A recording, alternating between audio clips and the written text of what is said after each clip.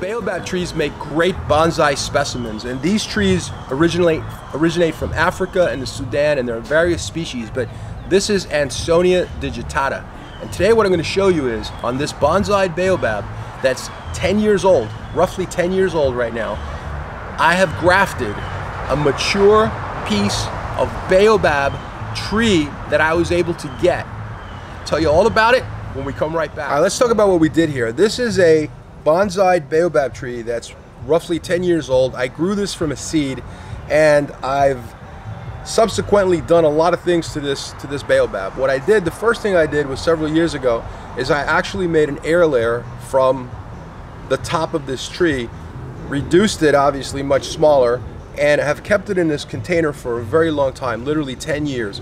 Um, you can see now, and we'll talk about the graft in just a moment, but you can see that the leaves here are looking pretty uh, kind of worn out and they're kind of falling off and that's because these baobab trees will go into dormant period where they just go completely dormant, they lose their leaves and there's just nothing going on and they're going to be like that in their normal environment, which would be Africa or the Sudan, places like that, these trees would be completely bare, no leaves whatsoever. And they can do that uh, for several, several months, six, seven months. But here in South Florida, it's a little different.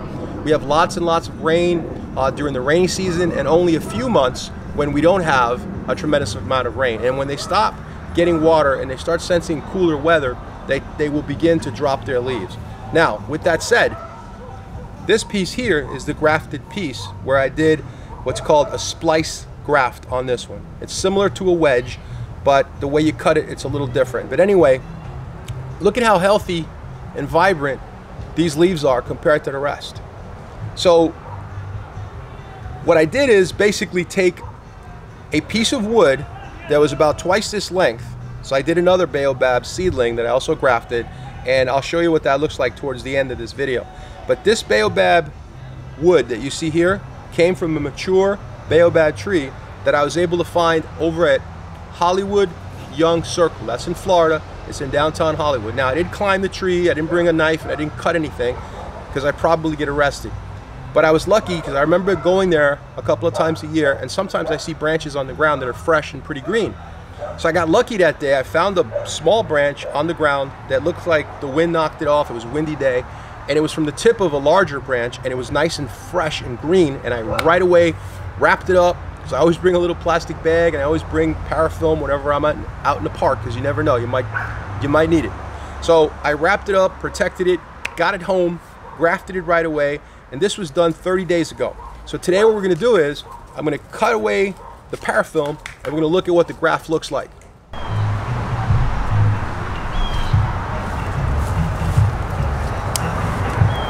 All right, so I hope you can see this here. I'm gonna be cutting off the rest of the parafilm. I'm gonna be real careful that I don't damage any of the leaves or any of the buds on here. So I have to go real careful here all the way up along the side. And then I'll separate it like this. And I'll show you what the whole thing looks like in just a second. All right, so here it is. I'm gonna remove that last piece of uh, piece of rubber band that we used to hold the graft together. And if you look carefully here, you'll see there's, this is a, a splice graft where you'll see a cut this way, you see a cut this way, and then you'll see another cut on the scion. So the scion has one, two cuts here, and then this piece is cut, and what we do is we cut on the edges on the outside here, and we snap them together, so to speak. We bring them together, and that's a splice. So you can see it's nicely healed over. And then you have here the new growth. We're going to keep it well watered. We're going to keep it well fertilized and keep it healthy. I don't know what's going to happen to this new growth because, like I said earlier, this growth here is going dormant. Um, but this had so much vigor, this branch, that you can see that in 30 days how much success we have and how nicely how nicely fused that is.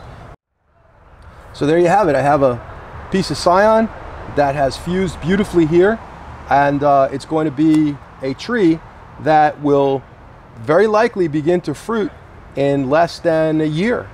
All right, well, there you have it. A baobab bonsai of the variety Adansonia digitata growing in a container with a splice graft that's doing fantastic.